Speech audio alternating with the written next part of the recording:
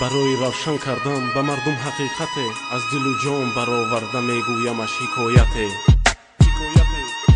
дар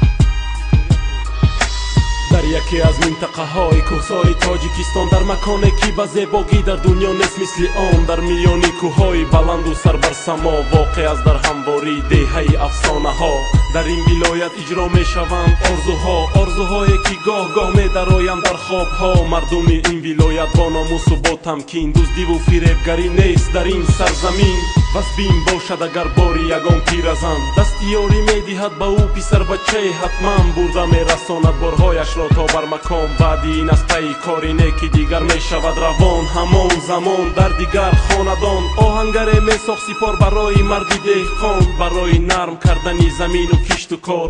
Аз ин кор таом мекардан тайёр беҳунар шахсе вуҷуд надошт дар ин диёр ҳар касе бо коре вобаста буд. Бо ихтиёр ҳезумкаш аз теппаҳои боло меовард. Хасҳоро деҳқон дар ҳамворӣ киш мекард зироатҳоро модаре дар ҷои шиштабод мекард гандумҳоро ҷавонмарде аз осиёб ҷамъ мекард ордҳоро духтаре дар танур сурх мекард нонҳоро сурхии оташ буд аз ҳисоби ҳезумкаш ёр бо ёр ҷуфтҳо буданд бисьёр барое ки ишқ ҳаст дар он ҷо пойдор писарон дар ҳар қадам нишон медоданд далерӣ духтарони ин макон мебошанд мисли парӣ ба ин вилоят аз ҳар гуна шоҳигарӣ шоҳзодагону амирон меомаданд хостгорӣ бо худ намебарӣ мегуфтанд падарон. Духтарони мо насиби писарони ин макон.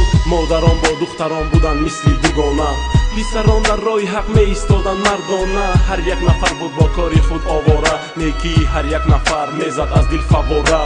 Бо гузар агар меомад ба ин ҷо ягон сайёҳ зуд ба пеши ӯ неъматҳо мекарданд муҳайё дар атрофаш аз меҳрубонӣ пур мекарданд фазо. Барои роҳ ба ӯ ҳатман ҷамъ меоварданд ғизо.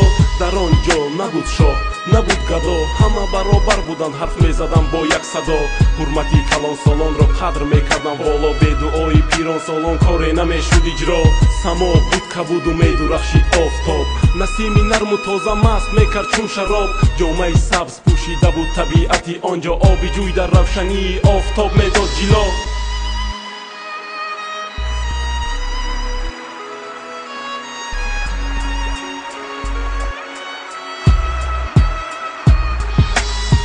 насими фора мевазид аз миёни кӯҳҳо. Садои оби ҷӯй фора мебошад ба гӯшҳо. Зебогии он манзара об медиҳад ба чашмҳо ва мисли афсона садо медиҳанд суханҳо. Афсона аз китобҳо ҳақиқати гузаштаҳо гузаштаи бобоҳо бобоҳои падарҳо. Мемондан ба мо мерос мерос аз насиҳатҳо ҳикоятҳо мегузоштанд аз наслу то ба наслҳо акнун ту шунидӣ аз ман ин афсонаро мешавад рӯзе ки ту ҳам насиҳат мекунӣ. Писарро ҳатман хотир расон кун. Ту ба вай ки эй писар бубар ин афсонаро то ба насли дигар. Агар намебуд чунин деҳа як замоне магар афсона мебуд гуфтаҳои як маконе. Касе ки бовар надорад фикри ӯ ҳамин вале ман медонам ки ҳаст чунин деҳа дар рӯи замин